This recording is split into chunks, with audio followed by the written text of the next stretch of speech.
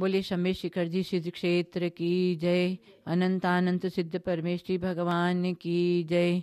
आचार्य श्री आदि सागर जी महाराज की जय। आचार्य श्री महावीर कीर्ति जी महाराज की जय।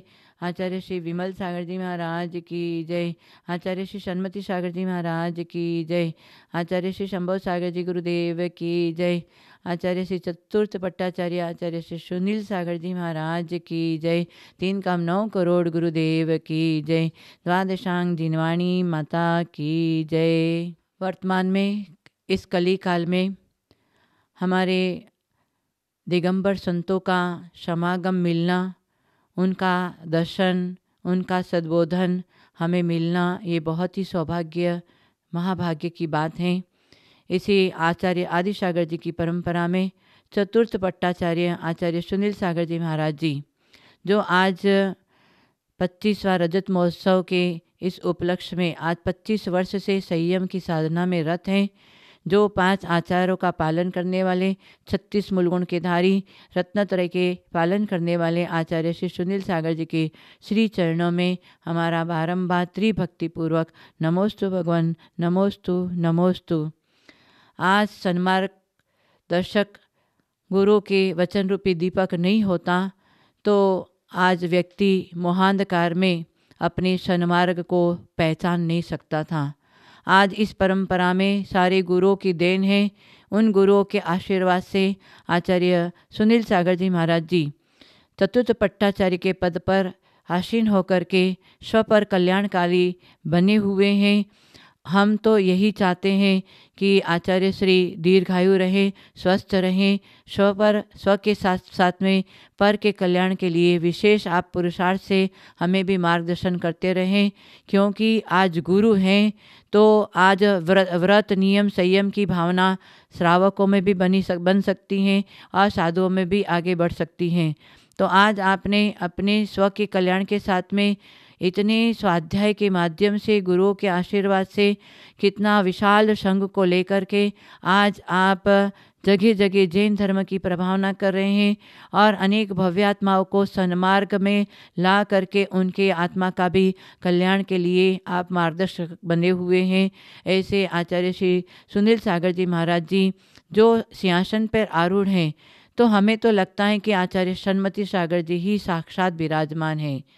तो ऐसे सन्मति सागर जी, इतने तपस्वी हमारे आचार्य आदि सागर जी महाराज जी की परंपरा, तपस्या परंपरा रही है। आदि सागर जी महाराज जी भी सात दिन में एक बार आहार करते थे, वो भी एक वस्तु का आहार करते थे। ऐसे आचार्य आदि सागर जी महावीर कीर्ति महाराज जी, विमल सागर जी, सन्मति सागर जी महाराज जी, ये तपस्या परंपरा रही है। उसी तपस्या परंपरा में आज चतुर्थ पट्ट पर हमारे आचार्य श्री सुनील सागर जी महाराज विराजमान हैं। ऐसे गुरु हमारे आज पंचम काल में इस प्रकार के जो मार्गदर्शक बने हुए हैं और उनका सभी मिल करके हम सब ऐसे गुरु का गुणानुवाद करें। गुरुओं का गुणानुवाद करने से हमारा भी संयम का मार्ग प्रशस्त होता है। जीवन में संयम बहुत ज़रूरी है। संयम वो पतवार हैं जो भाव के भाव भाव के समुद्र को पार कराने वाला होता है। संयम एक ऐसा कवच है जो विषय वासना कषायों को, बाणों को अंदर घुसने नहीं देता है, ये संयम। संयम एक ऐसा तपस्या है जो व्यक्ति को कांच से कांचन बना देता है। ये संयम ऐसे आलोकित जीवन के कोने कोने को आलोकित करने वाला एक मिसाल है। तो ऐसे संयम हमारे जीवन का श्रृंगार है, ऐसे संयमित जीवन को जीने वाले आज 25 वर्षों से अपने संयमित जीवन में आगे बढ़ते जा रहे हैं और सपर कल्याणकारी बने हुए हैं। ऐसे आचार्य श्री सुनील सागर जी महाराज जी का हम सब पच्चीसवा रजत महोत्सव बड़े भक्ति के साथ में करें, गुणानुवाद करें, क्योंकि ईंटों को चुनने से मकान बनता है, धागों को बुनने से परिधान बनता है और गुणों को गुनने से व्यक्ति एक दिन गुणवान बनता है और सच समागम में रहने वाला व्यक्ति एक दिन संत बनता है। तो ऐसे गुणों का गुणानुवाद करें, संतों के सानिध्य में रहें तो हमारा जीवन भी संयमित बने। संयम हमारे जीवन का श्रृंगार है।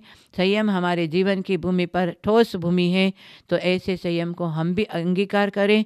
आचार्य श्री सुनील सागर जी महाराज जी के श्री चरणों में उनके आज पच्चीसवें रजत महोत्सव के उपलक्ष्य में हमारे आचार्य श्री शंभो सागर जी गुरुदेव का भी प्रति नमोस्तु और हमारा भी त्रिभक्ति पूर्वक गुरुदेव के चरणों में हमारा बारंबार नमोस्तु त्रिभक्ति पूर्वक और जितने भी विशाल संघ हैं मुनि आरिका, उनको भी मेरे क्रम से नमोस्तु बंदा में करते हुए हम आचार्य श्री सुनील सागर जी के श्री चरणों में अपनी भक्ति भाव से विनयांजलि अर्पित करती हूँ।